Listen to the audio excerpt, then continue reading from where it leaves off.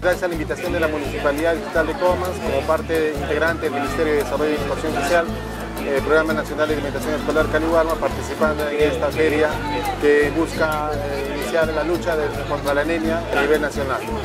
En esta oportunidad el programa se presenta con dos raciones que entregamos de manera diaria, uno el tema de la galleta de quicha y de quinoa y también tenemos el pan con sangrecita en polvo, que lo que busca es combatir el tema de la anemia.